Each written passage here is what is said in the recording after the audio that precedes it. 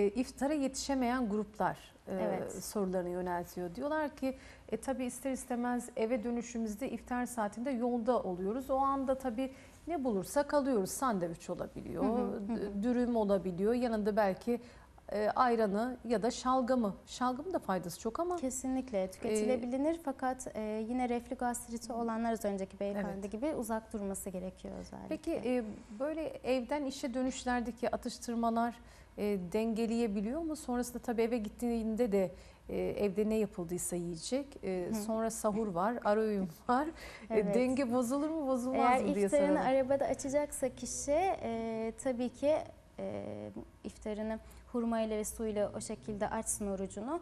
Eve gittiğinde ana yemeğe yönelsin. O, e, o sırada kuru kayısı olur, kuru hurma olur e, veya minik ceviz, fındık, badem olabilir. Veya e, çıkmadan önce aldığınız simit e, hemen tüketebilirsiniz. Hmm. Bu sayede yaptığımızda biraz daha e, bastırmış oluyoruz aslında o açlığı fakat mutlaka ana yemeği evde yiyelim.